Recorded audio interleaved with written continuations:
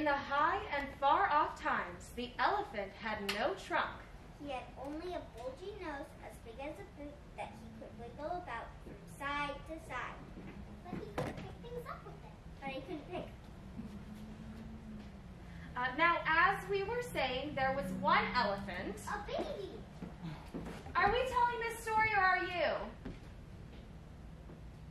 Good. There was one elephant. Yes, a baby elephant who was so full of curiosity. That he has ever so many questions. Tell him the land with all his curiosity. I thought we agreed that he would be telling this story. Can't I help? I guess so. Fine. I'll put my finger to that face. One day, I go first. One day, she approached her aunt, the ostrich. Auntie Ostrich, yes? Why do your tail feathers grow like that? How dare you, little one? You should know it's not polite to ask a lady about your backpack. One day your curiosity is going to get you in trouble. nice going, silly. You should mind your own business. but not deterred, the baby elephant went back to grazing. When along came an- another one of his aunts, the giraffe.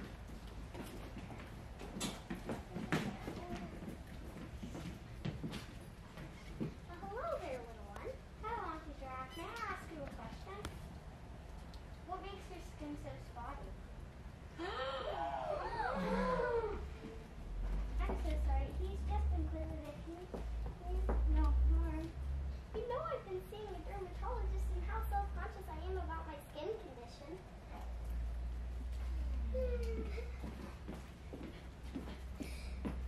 Mama E says, Well, I hope you're happy. Well, I hope you're happy. You're... Why are you going to to keep your little mouth shut? No dessert for a week. What is that for a week? A week? Dad? You need you need mother. She was very sad about the dessert, And about embarrassing aunt, the giraffe. but she just couldn't help asking questions. When her broad aunt, the hippopotamus, came by, I think people are using the word ample now. Broad might be offensive. ample? Fine. When her ample aunt, the hippopotamus, came by, she tried very hard not to ask her a question. She tried holding her breath, but when she let it out, why are you so fat? Uh, she, she said, uh, why are your eyes so red? nice cover. Thanks. Oh well. That's not what I said. I said she's very sorry if she offended you. Well, I hope so. You try keeping your eyes underwater for long periods of time and see if your eyes don't get red. Then are. I'm so sorry. I'm so sorry, Indiana. And the hippo says, you had better teach your girl some manners. You had better teach your girl some manners, Ellen, or someday someone else will. Mama E says, you see what your curiosity is getting you? See what your curiosity is getting you? No dessert. Two weeks. Two weeks? And you can go to bed early too. Now you keep your little mouth shut. you keep your little mouth shut. Papa E says, you listen to your mother, Ella. Yeah, what he said. And the elephants exit. The baby elephant was very upset. My name is Ella. Sorry. Ella was very upset and was determined not to ask any more questions. Until the ancient and wise baboon came by. Knowing the baboon to be wise, the baby elephant, Ella, struggled not to ask a question.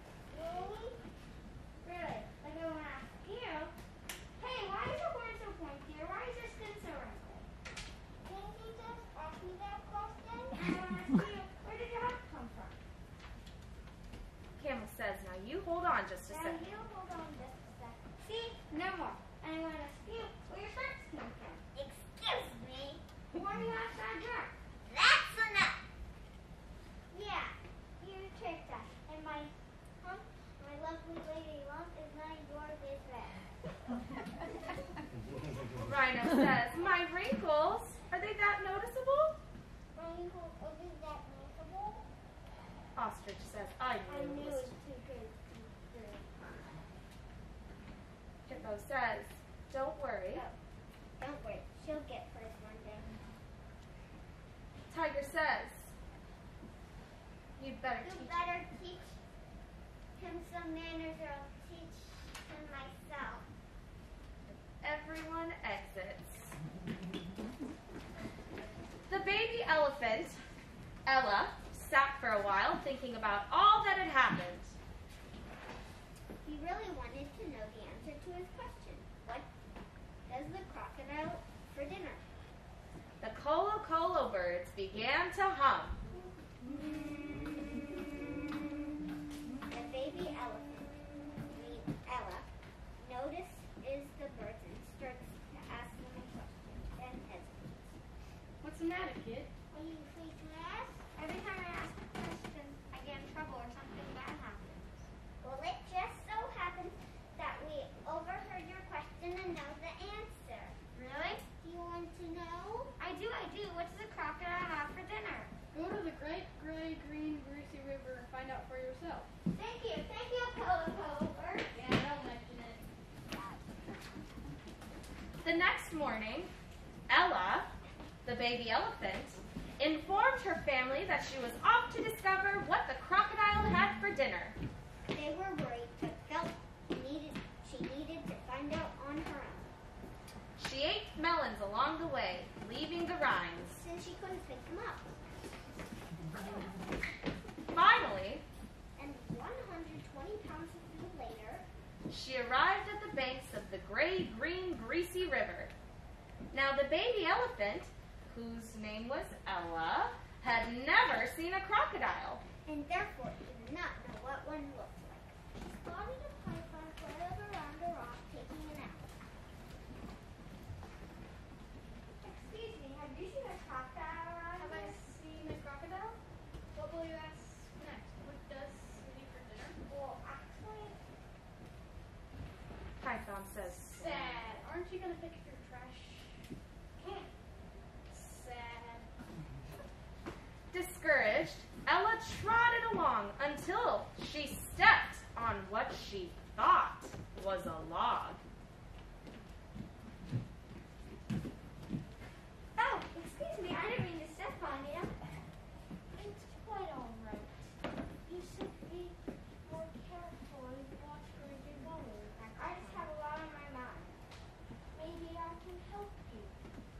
I'm on a journey to find a crocodile. Come closer, my curious friend. What question do you need to ask me? What question do you need to ask me? I mean him. Usually I get in trouble for asking questions. Are you going to school with me too? No,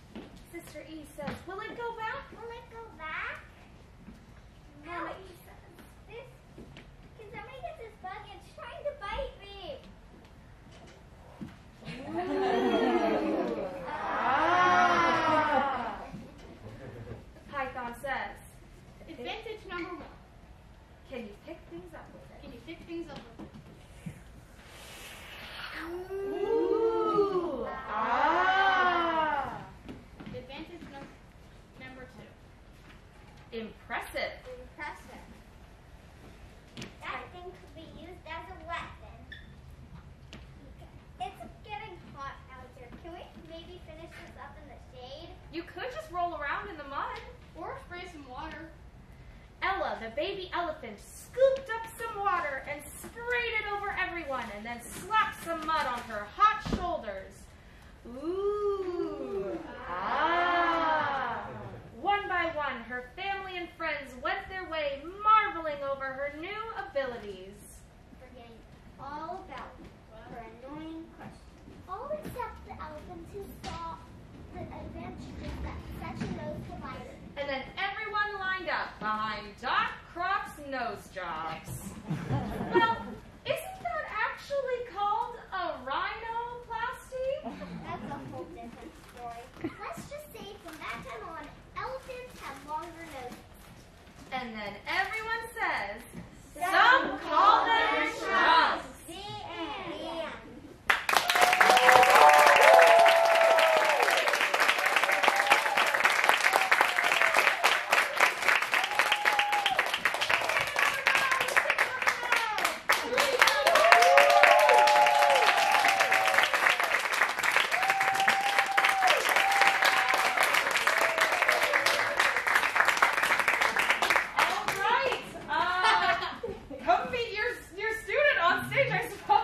Uh,